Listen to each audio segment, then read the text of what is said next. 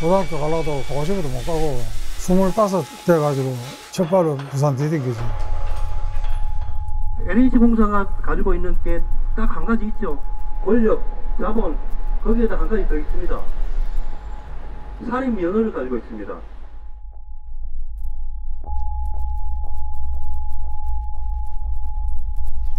벌레 소리도 또, 이, 이따가, 이, 이, 그다가